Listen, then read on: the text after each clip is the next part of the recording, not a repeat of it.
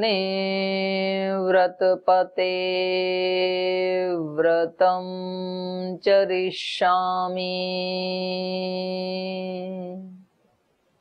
तच्छकेयं तन्मे राध्यताम्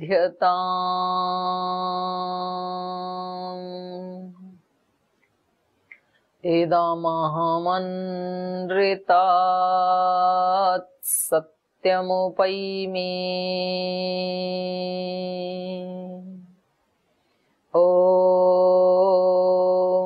सहनावतु सहनौ भुनक्तु सह वीर्यं करवावहै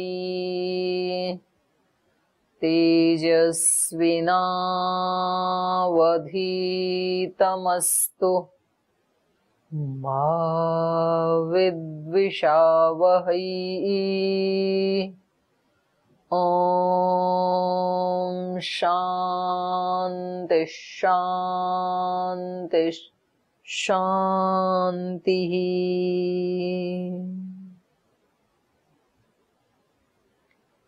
ओम पिछले पाठ में अष्टांग योग की चर्चा कर रहे थे हम।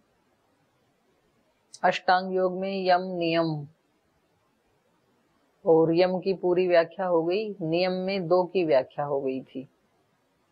शौच, संतोष तप स्वाध्याय ईश्वर प्रणिधान, तीन नियम बचे हैं जिन पे हम आज चर्चा करेंगे। तो शौच, संतोष, तप तप क्या है? तपोद्वंद्व सहनम हमने पहले पढ़ा था। द्वंद्वों को सहन करना ये तप है, और वो तप करने का परिणाम क्या है? फल क्या है? तप क्यों करें? सहन क्यों करें? द्वंद्वों को क्यों सहन करें हम? तो उसका फल बता रहे हैं तैतालीस नंबर सूत्र में, कायेंद्रिय सिद्धि अशुद्धि क्षयात तपसह ऐसे नहीं करना तप, उसका फल मिलता है। क्या फल मिलता है? शरीर और इंद्रियों की, काय इंद्रिय सिद्धि। इंद्रियों की सिद्धि मिल जाती है, शरीर की सिद्धि मिल जाती है। कैसे? अशुद्धि क्षय, अशुद्धि का क्षय होने से। शरीर से संबंधित अशुद्धि का क्षय हो जाता है। इंद्रियों से संबंधित अशुद्धि का क्षय हो जाता है। और अशुद्धि का क्षय होने से सिद्धि मिल जाती है। तो ये तप का परिणाम है।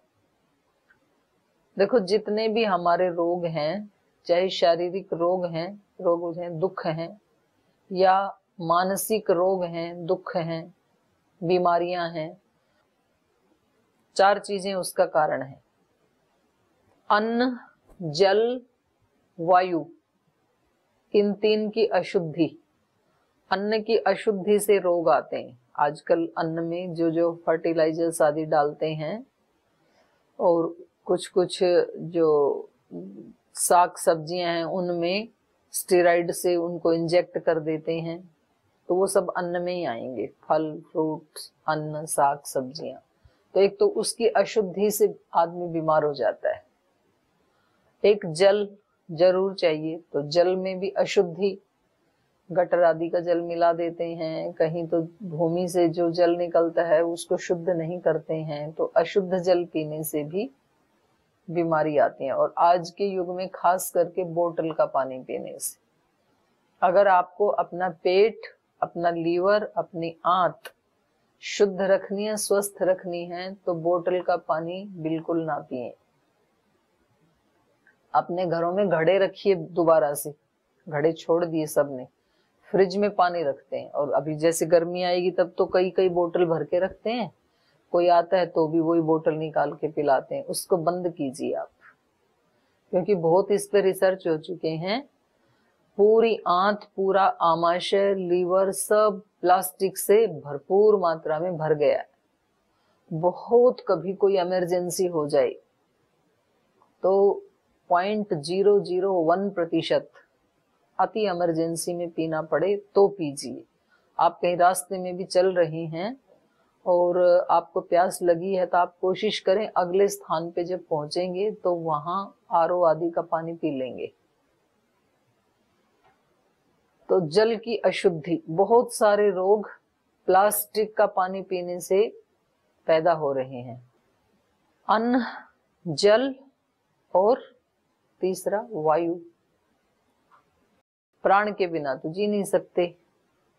और प्राण हो गया दूषित, वायु हो गई दूषित, इतना पोल्यूशन बढ़ गया वायु में।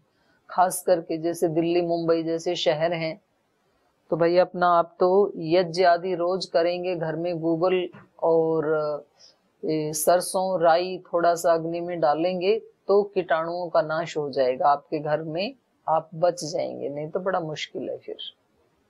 अन्न अन्न की अशुद्धि, जल की अशुद्धि, वायु की अशुद्धि, तीन बड़े रोग के कारण और चौथा है विचारों की अशुद्धि, सबसे भयानक कारण। तो ये अशुद्धि का क्षय किससे होगा? तप से होगा। तो ये चार प्रकार की अशुद्धि तो मोटी मोटी है जो हमारे जीवन में स्पष्ट ही दिखाई देती है। आहार में आप अपने घर में उगा लेंगे आहार को, सब्जियों को आप जैविक खेती जो करते हैं वहाँ से ले आएँगे या खुद कर लेंगे, जल को भी सुधारा जा सकता है, आप घड़े में भर लेंगे, बोतल आदि का पानी नहीं पिएँगे आर से उसको फ़िल्टर कर लेंगे, आरओ से फ़िल्टर करके फिर घड़े में भर के रख लो।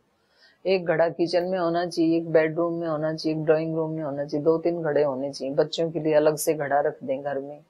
आने वालों को भी घड़े का ही पानी पिलाएँगे तो जल की भी शुद्धि कर लेंगे अन्न भी शायद जैविक दृष्टि से पैदा करके उसको शुद्ध किया जा सकता है।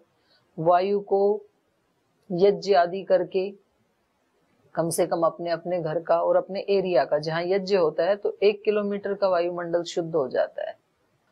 अब चौथा है विचार वाला तो वो तो बिल्कुल ही अपने ही हाथ में है। तो सबसे सरल विचार वाला पोल्यूशन शुद्ध करने का और सबसे खतरनाक भी विचार वाला ही है।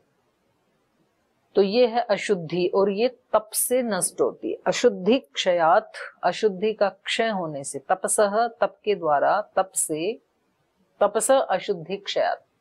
जब हम तप करते हैं तो अशुद्धियों का नाश हो जाता है और शरीर और इंद्रियों की सिद्धि मिल जाती है। निर्वर्तमानम एवं तपोहिनस्ति अशुद्धि आवरणम मलम।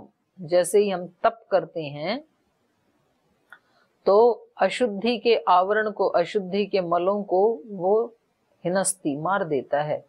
तदा आवरण मल अपगमात, काय सिद्धि अणिमादि तथा इंद्रिय सिद्धि दूराश्रवण दर्शनात् इत्यादि। शरीर की सिद्धियाँ कौन सी हैं? तो यहाँ पर भाष्यकार ने बताया, अणिमा, महिमा, गरिमा, लघिमा आदि सिद्धियाँ जो हनुमान जी को प्राप्त थी ना अणिमा महिमा, लघिमा, प्राप्ति, प्राकाम्य, ईशित्व और यत्र काम, यत्र कामा वसाइत्व ये आठ सिद्धियाँ हैं। महिमा और लघिमा। अणिमा, महिमा, लघिमा और प्राप्ति, ये चार तो शरीर की सिद्धियाँ हैं। अणिमा का मतलब है छोटा शरीर को कर लेना। जैसे उसके मुख में घुसे थे ना, सुरसा के मुख में समुद्र लांगते हुए तो उन्होंने अणिमा सिद्धि से अपने तन को बहुत छोटा सा कर लिया था हनुमान जी ने। उसने कहा कि ये मेरी प्रतिज्ञा है, यहाँ से जो जाएगा वो एक बार मेरे मुख में ज़रूर आएगा। तो इन्होंने बताया कि भाई, माता, मेरे को तो तू छोड़, मेरे को मत खा, मैं तो श्री राम का कार्य करने के लिए जा रहा हूँ। तो उन्होंने कहा, एक बार तो ज़रूर आना पड़ेगा, फिर आप निकल जाना, यदि आपके पास कोई ऐसी सिद्धि है तो। तो इन्होंने अपने शरीर को अणिमा बनाया, अणु जैसे शरीर में घुसे, उसने मुँह खोला था, वो बंद करती, उससे पहले बाहर निकल आई। तो ये है शरीर की अणिमा सिद्धि। फिर महिमा, शरीर को महान बनाना। तो अहिरावण, राम और लक्ष्मण को पाताल लोक में लेके गया तो इन्होंने महिमा सिद्धि। से अपना विराट काय शरीर बना करके और दोनों को कंधे पे बिठा करके राम लक्ष्मण को पाताल से बाहर निकाल लाई क्योंकि वहाँ से आना तो इम्पॉसिबल था। ऐसे ही जब ये लंका के द्वार पे पहुँचे और जो वहाँ की जो बॉडी गार्ड थी, सिक्योरिटी गार्ड थी, उसने रोकना चाहा तो वहाँ भी इन्होंने महिमा सिद्धि के द्वारा अपने शरीर को, डील डोल को और ज़्यादा बढ़ा के और उसको थप्पड़ ऐसा चांटा मारा कि वो चांटे से ही मर गई बेचारी। तो अणिमा, महिमा, लघिमा, लघु होना, हल्का हो जाना। हल्का होकर के फिर व्यक्ति पानी के ऊपर भी पैरों से चल सकता है। जैसे रुई पानी के ऊपर तैरती है, ऐसे योगी भी पानी के ऊपर तैर सकता है। ये लघिमा सिद्धि से होता है। और प्राप्ति। प्राप्ति का मतलब है, किसी वस्तु को प्राप्त करना चाहे तो वो उसको मिल जाती है वहीं पर ही। तो ये चार तो शरीर की सिद्धियाँ हैं, अणिमा, महिमा, लघिमा और प्राप्ति। और बाकी की जो है वो इंद्रियों की शक्ति है। इंद्रियों की शक्ति है दूरात श्रवण, दर्शन इत्यादि। दूर से ही बैठा हुआ किसी की बात सुन लेना, किसी के मन की बात जान लेना किसी को देख लेना। ऐसे योगी तो हमने भी देखे हैं। अभी देखे, अभी भी हैं मतलब। वो यहाँ बैठे बैठे बता देंगे कि वहाँ पर क्या चल रहा है। कोसों दूर। बेंगलुरु में बैठा हुआ व्यक्ति ये बता देगा हरिद्वार में क्या चल रहा है। यहाँ इस कमरे में कौन कौन बैठे हैं? किसने किस कलर की शर्ट पहनी है, साड़ी पहनी है? उसके पास में कौन बैठा है? उसका नाम क्या है? पूरा बता देते हैं। तो ये है दूर से दर्शन, दूर से श्रवण, दूसरे से यहाँ क्या बात कर रहे हैं, वो व्यक्ति वहाँ बैठा हुआ सुन सकता है। तो पहले तो हमें ये बात लगती थी, सपने जैसी, कुछ कहानियों जैसी। लेकिन अभी पूज्य गुरुदेव की कृपा से ऐसे सिद्धों के हमने दर्शन किए और अपनी आँखों के सामने देखिए सिद्धियाँ जिनको प्राप्त है उन व्यक्तियों को। तो अब ये इसमें कोई संशय नहीं रहा कि ये वास्तव में ये सिद्धियाँ होती हैं कि नहीं होती, इसमें कोई संशय नहीं है, रत्ती भर भी नहीं है। सोई की नोक के बराबर भी संशय नहीं है। क्योंकि आँख से देखे हुए को व्यक्ति कैसे झुठला सकता है? जी, ये सिद्धियाँ तो हमें भी मिल जाएँगी तो मौज आ जाएगी। तो तब करेंगे तो मिलेंगी। तब का फल बताया है ये।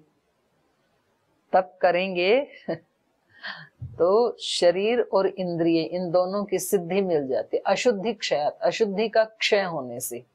तो सिद्धि चाहिए तो मन की अशुद्धि को मिटाना पड़ेगा। सबसे पहले देखो, एक अशुद्धि, जो विचार की अशुद्धि है, वो हंड्रेड परसेंट हमारे हाथ में हवा को शुद्ध करना हमारे हाथ में नहीं है, लोग दूषित कर देते हैं। अन्न जल को लोग दूषित कर देते हैं, वो उतना हमारे कंट्रोल में नहीं है। थोड़ा जितना कर सकते हैं, उतना तो करेंगे, करते हैं। लेकिन विचार वाली अशुद्धि हंड्रेड परसेंट हमारे हाथ में। और विचार की शुद्धि हो गई ना, फिर तो बस आप समझ लो कि आपको एक करोड़ों की संपत्ति कहना भी छोटा पड़ रहा है। एक अमूल्य संपत्ति मिल गई जिसने अपने विचार को शुद्ध कर लिया। तो अब अपने विचार शुद्ध कैसे? विचार के प्रति जागरूक होना पड़ेगा। कौन कौन से विचार आते हैं? किसी के प्रति भी कोई राग का, द्वेष का, प्रतिशोध का ईर्षा का, द्वेष का, घृणा का विचार नहीं आना चाहिए। और आता है तो प्रयास पूर्वक उसको हटाना है। ये साधना है, बड़ी साधना है, ये छोटी साधना नहीं है। लेकिन जब व्यक्ति को पता चल जाता है कि ये मेरे फ़ायदे के लिए, ये मेरे नुकसान के लिए है तो फिर व्यक्ति उससे छूट जाता है। असंभव नहीं है। मन को तो जो हम सिखाते हैं, मन तो वो सीख लेता है। मन तो एक साधन है, एक जड़ चीज़ है मन तो। चेतन नहीं है ना? मैं अपने पेन को जैसे चलाऊं, वैसे पेन चलेगा, क्योंकि पेन तो जड़ है। वो ऐसा तो नहीं है कि मेरे हाथ से निकल करके मैं ओम लिखना चाहूँ और वो कुछ और लिख दे। ऐसे नहीं हो सकता है। ऐसे ही हमारा मन है। मन को जो सिखाते हैं, वो सीख लेता है। बच्चे जैसे है। तो मन को ये सिखाना पड़ेगा कि भाई ये विचार मत उठाया कर। इस, ये सिद्धियों में बाधक बन रहे हैं, ये विचार। और ये भावनाएँ मत उठाया कर किसी के प्रति भी, क्योंकि ये सिद्धियों में बाधक बने हुए हैं और इस बाधा को हमें तोड़ना है। ये तप है। क्योंकि जैसे ही कोई व्यक्ति तंग करता है ना तो विचारों की सचमुच एक श्रृंखला चल जाती है। रोके रुकती नहीं है। तो पहले उसको आप देखें कि ये ठीक नहीं है। इतना भी आपने किया ना तो भी उसके ऊपर कम से कम एक कंट्रोल हो जाता है बैन लग जाता है। ये ठीक नहीं है, इतना सोचना भी और उसको देखना भी अपने आप में एक कदम आगे बढ़ाना है। क्योंकि अभी तक तो ये पता ही नहीं था ना कि इसके सोचने से कुछ मेरा भी नुकसान हो रहा है क्या। अभी तो ये लग रहा कि स्वाभाविक है, कोई सता रहा है तो ऐसा सोचना स्वाभाविक है। अभी उसके लिए पहले ये सोचना बंद करना, क्योंकि ये मेरे लिए बहुत घातक है। मेरा महान नुकसान हो रहा है ये सोचना।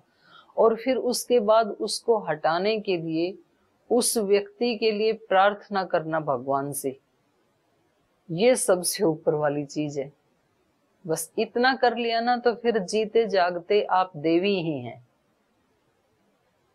देवी देवताओं में आप में फिर कोई अंतर नहीं रहेगा। तो ये तप का परिणाम है, कायेंद्रिय सिद्धि अशुद्धि क्षया तपस। तप के बाद है फिर, और क्या होगा? स्वाध्याय। स्वाध्याय करने से क्या होगा? स्वाध्याय किसको कहा था? ओंकार आदि का जाप, गायत्री आदि मंत्रों का जाप, और मोक्ष देने वाले जो शास्त्र हैं, ऋषियों के जो शास्त्र हैं, वेद हैं, दर्शन हैं, उपनिषद हैं, गीता है, रामायण है जो आध्यात्मिक आर्ष ग्रंथ बोलते हैं इनको, जो ग्रंथ ऋषियों ने बनाए, उनको आर्ष बोलते हैं। तो आर्ष ग्रंथों का स्वाध्याय करना, इससे क्या होगा? स्वाध्यायाद इष्ट देवता संप्रयोग। स्वाध्याय करने से जो अपने इष्ट देव हैं, उनके साथ हमारा संपर्क हो जाता है। संप्रयोग माने संपर्क हो जाता है। अब आप सोचो, कहाँ तो हमारी यात्रा वहाँ थी देवताओं के साथ संपर्क करने की। और संपर्क हमने किसके साथ कर रखे हैं अभी? चुगली चाटा करने वाले आत्माओं के साथ। जो हमारी हाँ में हाँ मिलाते हैं, हम चुगली करते हैं और वो भी हमारे साथ साथ चुगली करते हैं। बोले हाँ वो तो है ही ऐसी।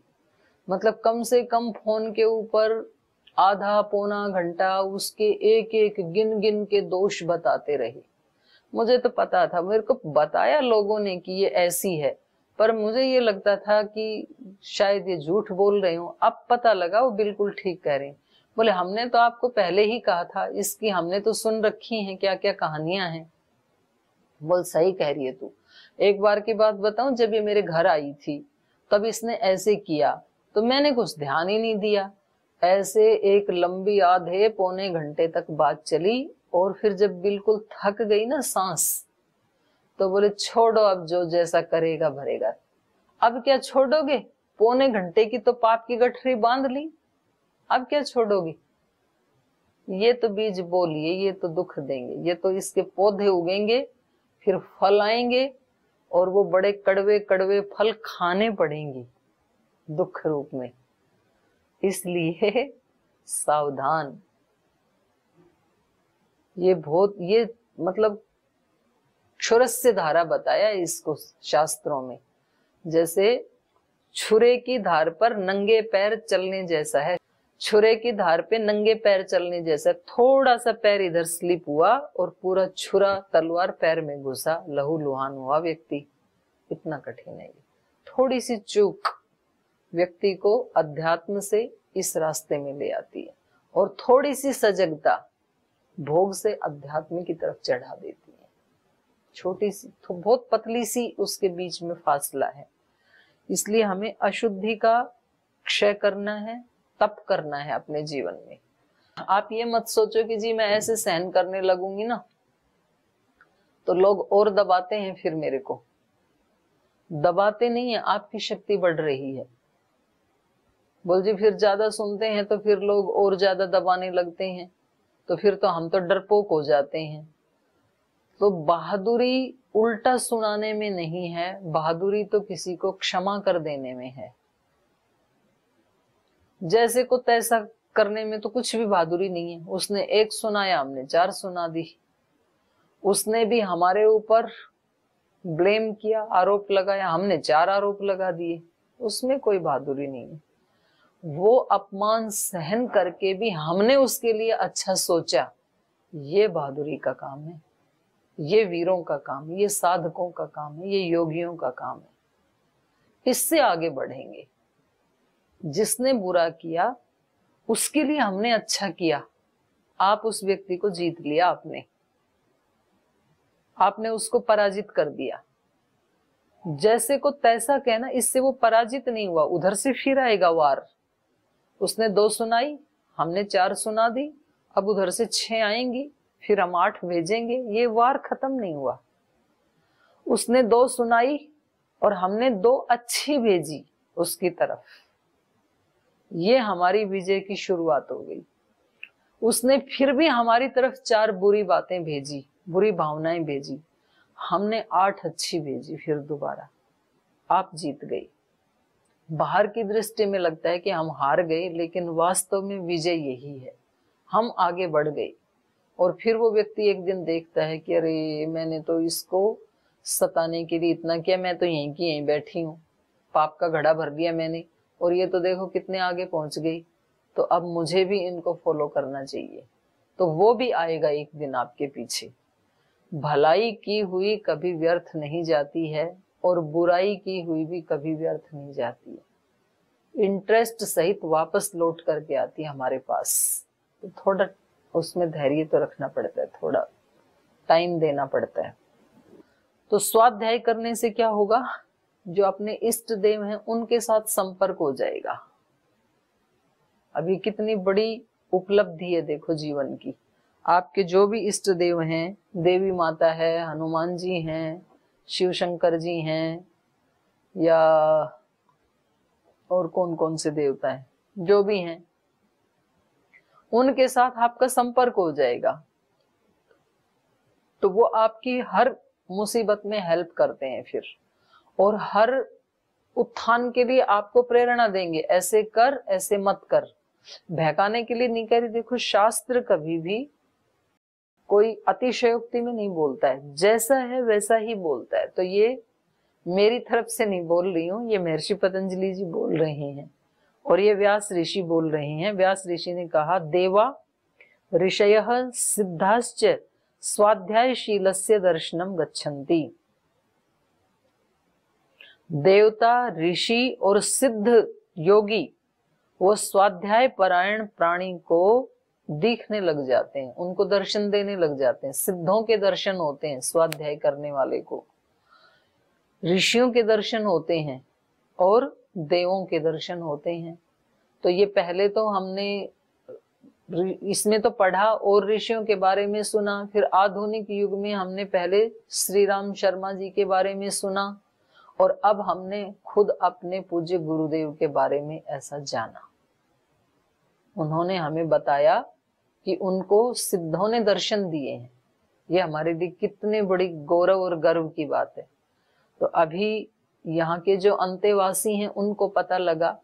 थोड़े दिन के बाद आप सबको पता लगेगा और सारे जमाने को भी पता लगेगा। तो ये ये स्वाध्याय का फल है। स्वाध्यायाद इष्ट देवता संप्रयोग। कार्य च अस्य वर्तनते। ये व्यास ऋषि कह रहे हैं देव, ऋषि, सिद्ध इस स्वाध्यायशील व्यक्ति को दर्शन देते हैं और कार्य च अस्य वर्तनते, इसके कार्य में भी हेल्प करते हैं। आपको क्या लगता है, ये पतंजलि का कार्य केवल श्रद्धे गुरुदेव और श्रद्धे आचार्य जी दो व्यक्तियों ने किया? दो व्यक्तियों से नहीं हो सकता इतना काम। इसमें बहुत सिद्ध लगे हुए हैं इस कार्य को सिद्ध करने के लिए। एक संकल्प लिया और उस संकल्प को पूरा करने के लिए कितनी दैवी शक्तियाँ, कितनी सिद्धों की शक्तियाँ, ऋषियों की शक्तियाँ उसमें लग जाती हैं। क्योंकि वो ही सपना उनका भी था। वो धरती के ऊपर सुख लाना चाहते थे, खुशहाली लाना चाहते थे, आरोग्य लाना चाहते थे, शिक्षा, चिकित्सा व्यवस्था को उस रूप में देखना चाहते थे, स्वदेशी का कार्य चाहते थे। तो बहुत सारे महापुरुषों का ये मिक्स सपना था। और जब एक व्यक्ति उसमें निमित्त बना पूरा करने के लिए तो वो सब पीछे से हेल्प करते हैं।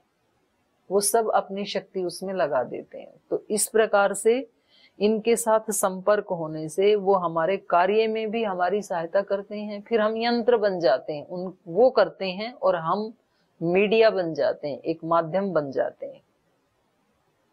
समाधि सिद्धि ईश्वर परिधानात जो लास्ट वाला नियम है ईश्वर परिधान ईश्वर परिधान क्या है?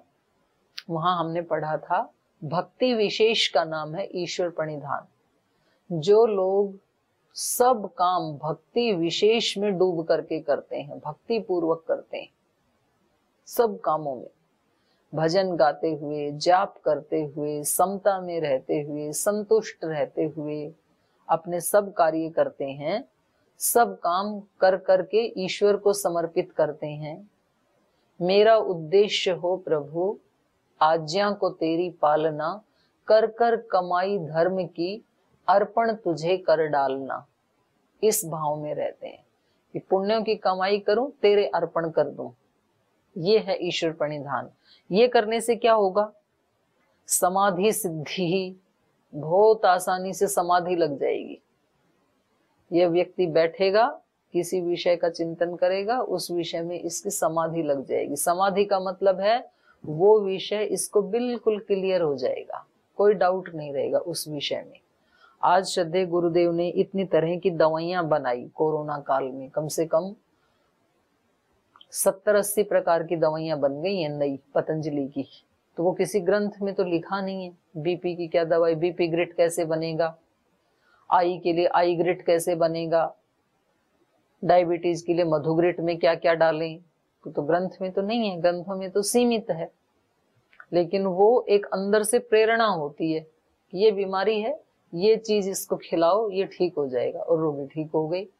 और जब रिसर्च करके देखा तो उसमें जो उसके गुण बताए मशीन ने तो उससे पता लगा कि ये तो किया तो एक रोग के लिए था इससे तो दस रोग और ठीक हो रहे हैं। तो ये जो अंत प्रेरणा है ना, ये समाधि अवस्था में मिलती है। माने चीज़ें क्लियर हो जाती हैं उस व्यक्ति के सामने। स्पष्ट उसको पता लगता है कि तू ऐसा कर और वैसा हो जाता है फिर। समाधि सिद्धि ईश्वर परिधानात ईश्वर परिधान का अनुष्ठान करने से समाधि की सिद्धि हो जाती है। माने हर काम करते हुए उस विषय में इसको बिल्कुल क्लियर कट नॉलेज प्राप्त हो जाती है। अपने आप अंदर से नई नई ऊहा नए नए विचार अपने आप रास्ता निकलता चला जाता है। अब व्यास ऋषि क्या कह रहे हैं इसके बारे में? ईश्वर अर्पित सर्व भाव से समाधि सिद्धि ही। सब भावों को, सब विचारों को, सब कर्मों को जब ईश्वर में समर्पित कर देता है, ये साधक तो इसको समाधि की सिद्धि हो जाती है। या उस समाधि से सर्वम ईप्सितम, अवितथम जानाती। जो कुछ भी इसका ईप्सित है, माने जिस चीज़ को ये चाहता है, उसको ये अवितथम जानाती, यथार्थ रूप में जान लेता है। समाधि में चीज़ें ठीक ठीक जानी जाती हैं। तो जिस चीज़ की भी इसको चाहत है, ये प्राप्त करना चाहता है उस विषय में इसको बिल्कुल यथार्थ नॉलेज हो जाती है। बिल्कुल सच्चा सत्य ज्ञान इसको प्राप्त हो जाता है। देशांतरे देहांतरे कालांतरे चे। वो वस्तु किसी अलग देश में रखी है तो भी पता लग जाएगा। देशांतरे, देहांतरे किसी अलग देह में है तो पता लग जाएगा। और कालांतरे वो किसी थोड़े दिन बाद घटित होने वाली है या कुछ दिन पहले घटित हुई, बिल्कुल इसको पता लग जाएगा। तो वो कौन कौन सा फोर्स लगाते हैं? सीबीआई जाँच। सीबीआई जाँच से ऊपर वाली चीज़ है ये, योगी की। बिल्कुल, वहाँ तो हो सकता है कि कहीं कुछ छोटी मोटी त्रुटि रह जाए केस में। इसमें कोई त्रुटि नहीं, बिल्कुल यथार्थ ज्ञान हो जाता है। ततो अस्य प्रज्ञा यथाभूतम प्रजानाति। और इससे इसकी प्रज्ञा क्या हो जाती है? यथाभूतम प्रजानाति। जैसी वस्तुएँ हैं, वैसा का वैसा इसको पता लग जाता है कि ये ऐसे हुआ था। घर में चोरी होगी तो पता लग जाएगा, सीसी कैमरा देखने की ज़रूरत नहीं है। इस व्यक्ति ने चुराया है, इस समय चुराया है, चुरा के वहाँ ले गया है, ऐसे पता लग जाएगा। और कोई वस्तु प्राप्त होनी है तो कहाँ से प्राप्त होने वाली है? कौन व्यक्ति कहाँ से आएगा? कौन व्यक्ति आपकी इस काम में हेल्प करेगा? कई बार व्यक्ति को लगता है ना कि ये तो ऐसी मुसीबत में फंस गई लगता नहीं है, इसमें कौन मेरी सहायता करेगा? तो वो अंत प्रेरणा आपको बता देगी कि वहाँ से वो व्यक्ति आएगा और वो तेरी हेल्प करके जाएगा। ऐसे बिल्कुल स्पष्ट निर्देशन इसको मिलने लगते हैं ईश्वर परिधान की स्थिति में रहने वाले व्यक्ति को।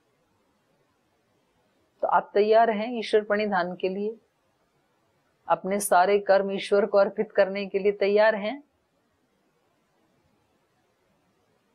तो फिर आपको भी यही सिद्धियाँ मिलेंगी। तो जी तैयार है, इसलिए तो इस पाठ में जुड़े हैं। तो बहुत अच्छी बात है। तो यहाँ तक हमने यम नियम अष्टांग योग पढ़ रहे थे ना तो दो अंग हमने पूरे कर लिए, यम नियम। अब हम पढ़ेंगे आसन, प्राणायाम, प्रत्याहार, धारणा, ध्यान और समाधि। वहाँ तक का छह अंग बचे हैं, दो अंग पूरे किए हैं, लेकिन अभी दस पंद्रह दिन के लिए ब्रेक लगेगा क्लास में, क्योंकि मेरे को अभी कल तो यूनिवर्सिटी का हमारा एनुअल फ़ंक्शन है, तीन दिन चलेगा वैसे, आठ, नौ, दस, तीन दिन का है, लेकिन मैं एक ही दिन रहूँगी उसमें। नौ तारीख को मैं और आदरणीय भाई राकेश जी, हम बाहर यूरोप में योग सिखाने जा रहे हैं।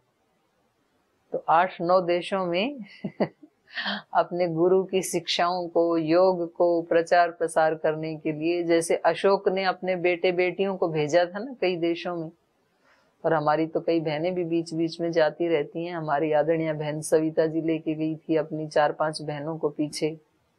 तो ऐसे हम अभी आठ नौ देशों में जाएँगे, नौ तारीख को, फिर छब्बीस को लौटेंगे। तो तब तक आपको जितना आपने पढ़ा है इस कक्षा में उसके ऊपर आप चिंतन मंथन कीजिए और नोट्स बना के रखिए। फिर आप मेरे को बताना कि इन दो यम और नियम, दो अष्टांग योग के अंगों का पालन करने से कितना लाभ हुआ? क्या क्या चमत्कार हुए जीवन में? ऐसे आप बताइए। और कल तो शिवरात्रि है और क्योंकि सुबह की कक्षा भी कल कल सुबह हो पाएगी, कल सुबह तो लूँगी। शाम वाली कल नहीं हो पाएगी। तो सुबह वाली कक्षा में कुछ बहनें अभी नहीं जुड़ पा रही थी तो उन सबको भी आप बता दीजिए, कल वाली कक्षा में सब जुड़े, क्योंकि परसों फिर जाना है। तो आज यहीं आपसे विदा लेते हैं, क्योंकि अभी छह बजे फिर जुड़ना है आपके साथ। तो आज यहीं विराम लेते हैं। ओ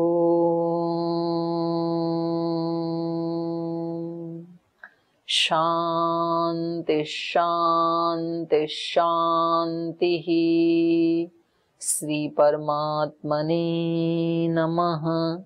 श्री गुरुभ्यो